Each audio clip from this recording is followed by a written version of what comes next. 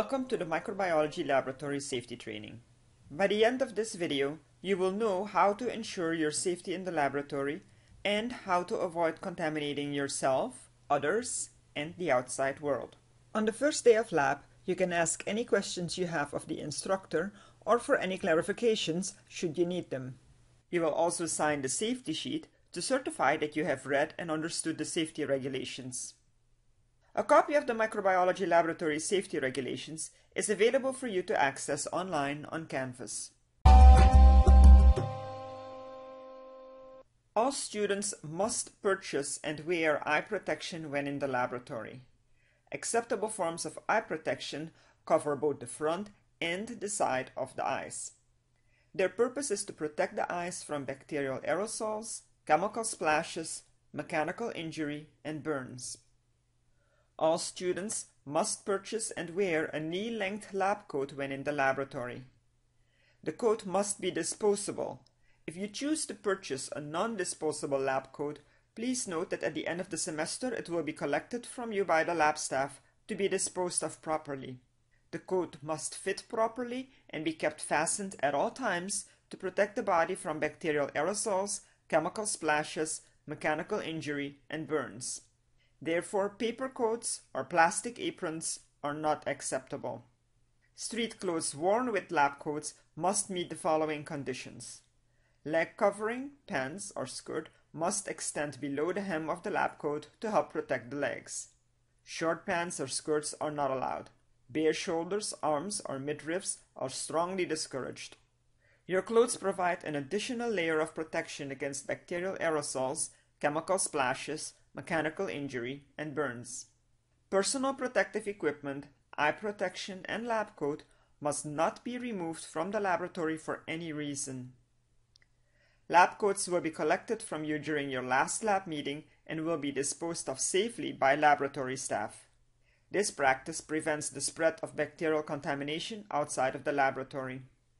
Closed-toed shoes which completely cover the foot must be worn when in the laboratory to protect the feet from bacterial aerosols, chemical splashes, mechanical injury, and burns. Long hair must be tied back when in the laboratory to avoid burns and bacterial and chemical contamination of the hair. Eating, drinking, chewing gum, and throat lozenges are prohibited at all times. Drink containers must not be brought into the lab. The purpose is to avoid bacterial infection or accidental ingestion of chemicals and to prevent the spread of bacterial contamination outside of the laboratory.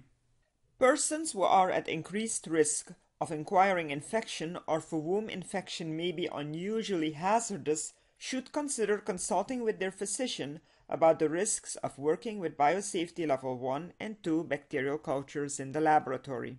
Furthermore, if you are pregnant or become pregnant, you will notify your instructor at the earliest opportunity. Do not open microbiological plates that appear to have fungal contamination. Ask your instructor if you are unsure. This practice prevents the release of concentrated fungal spores, which could be highly infectious. No materials may be removed from the laboratory. This includes culturing materials, bacterial cultures, used microscope slides, chemicals, etc. The purpose is to prevent the accidental spread of bacterial contamination outside of the laboratory, to prevent chemical accidents and injuries, and to prevent the intentional misuse of such materials. Federal, state, and local laws regulate the acquisition, possession, transportation, use, and disposal of microbiological materials and chemicals. Criminal penalties apply to violations of this regulation. Access to the material safety data sheets is freely available to students upon request. They provide information on the health hazards, precautionary measures, and emergency procedures associated with the use of chemicals in the laboratory. Students have the right and the responsibility of knowing the proper handling of the chemicals that they will be exposed to and using. All students must be aware of the location of safety and first aid equipment in the laboratory and surrounding areas. An accident or incident report must be filed immediately following any injury or potential infectious exposure to bacterial cultures. all students must follow standard hand washing protocol. Wash hands with hot water and soap each time when entering and each time when leaving the laboratory. Also, wash hands anytime you suspect you may have had accidental contact with cultures or contaminated objects or surfaces in the laboratory. The purpose is to minimize the risk of infection and to prevent the spread of bacterial contamination outside of the laboratory. Routine use of latex or nitrile gloves is not necessary when the skin of the hands is healthy and unbroken, but persons who have temporary cuts or scrapes should wear disposable gloves which will be provided by the instructor. Hand jewelry, artificial fingernails, and natural fingernails which extend beyond the fingertip are strongly discouraged because they decrease the effectiveness of hand washing and impair manual dexterity when wearing gloves. Students must disinfect the laboratory bench tops each time when entering and each time when leaving the laboratory by dampening the surface lightly with the provided Citrus dew cleaner. Follow this step by spreading the solution around with a paper towel. This practice minimizes the risk of contamination and infection. Do not leave Bunsen burners unattended. Avoid use of chemicals such as gram stain decolorizer near open flame. The purpose is to avoid burn injury, fire, and explosion. Dispose of all microbiological and chemical wastes in the designated receptacles as explained by the instructor.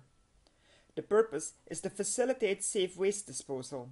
Follow the procedures specified by the instructor for cleanup of broken glass and for microbiological spills.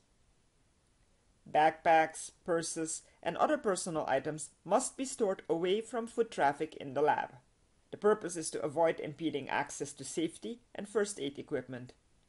Only essential items, lab notebook and pen, should be on the bench top.